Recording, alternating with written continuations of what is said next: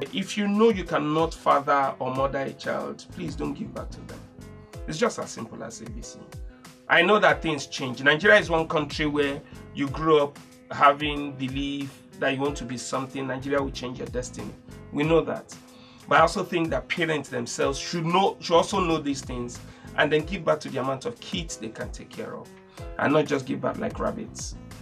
How can something this sweet make an innocent child like me pay for my existence every day? Before the sun comes up and the moon appear, you expose my fragile skin just to get a penny. Mom and dad, did you ever think of me before your fingers interlocked and the urge for sex grew stronger?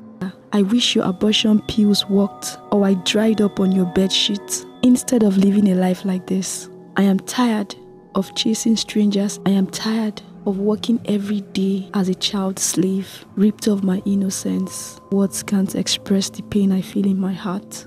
Mom and dad, how do you live with yourself every day, looking at me this way?